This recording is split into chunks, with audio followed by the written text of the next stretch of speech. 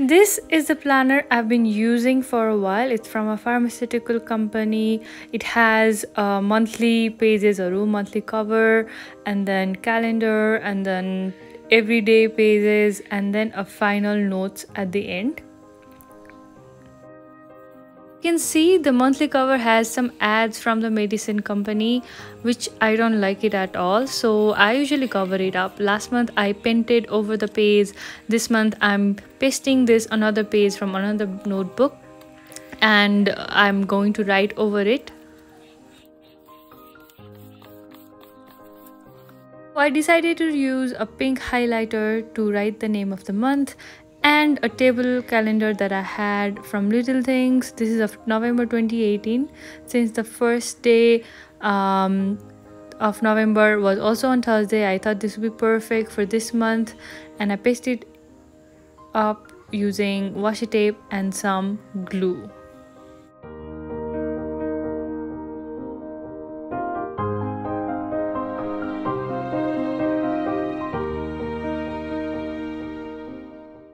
After finishing the pasting of the calendar, I decided to use my Stabilo Fine 0.4 colored pen to border the month name July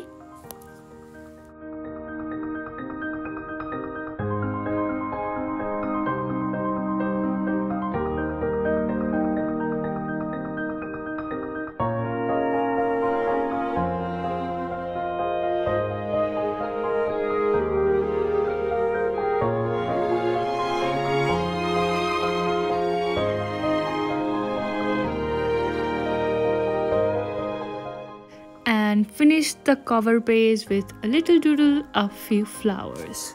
Moving on, I'm making a future log page. Since this diary already has a calendar, I don't have to make it, thank God. So I can directly jump into the future log. I am covering the header section of this page because I don't like it. And then I covered the margin with red paint where I'm gonna write about my everyday schedules like I am doing now.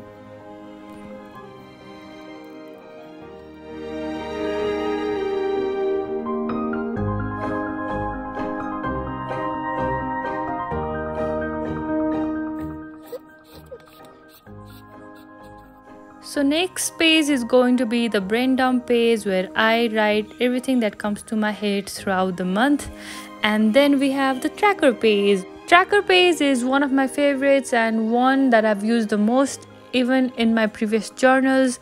This is the page where I track my everyday habits including meditation, water intake, exercise, drinking, and so on. Uh, since the lockdown has opened up, I'm also gonna use this month to track my outings to see how many days have I been out. Then we have the weekly spread. I'm dividing the pages into two equal halves each. One of them will have the to-do for the week while other three half would have my daily spread where I'm gonna list my to-do list. I am not sure what I'm gonna do so I'm just gonna leave to that.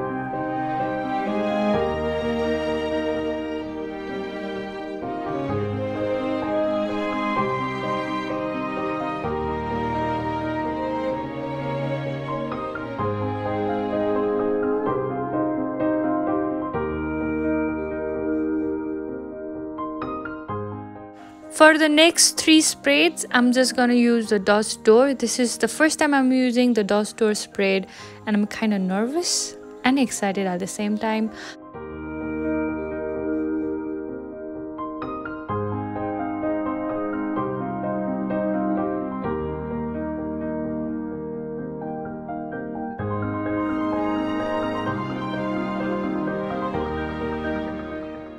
And the final spread is about the arts that I've consumed this month. It is divided into four sections. The first is about reading, books, articles, poetry. The second about music, uh, something that I am frequently listening to or new songs that I've discovered. The third is about short videos, YouTube or series episode, and the fourth is going to about long videos, movies or documentaries that I've watched.